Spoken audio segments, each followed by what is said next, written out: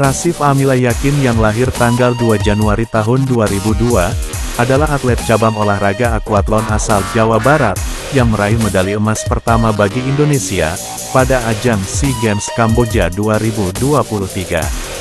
Rasif sebagai atlet cabang olahraga akuatlon, finish terdepan di nomor perseorangan putra, dalam lomba yang digelar di Kepulauan Taun Beach, Kamboja, pada hari Sabtu tanggal 6 Mei tahun 2023.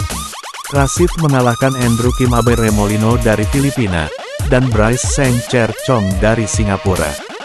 Sejak awal Rasif memang dipasang target untuk meraih emas di SEA Games 2023. Rasif mengungguli 17 pesaingnya termasuk rekannya, Aryanda Fauzi Mauludin yang hanya finish di urutan ketujuh. Selain itu, Rasif juga akan berlomba pada nomor triathlon putra.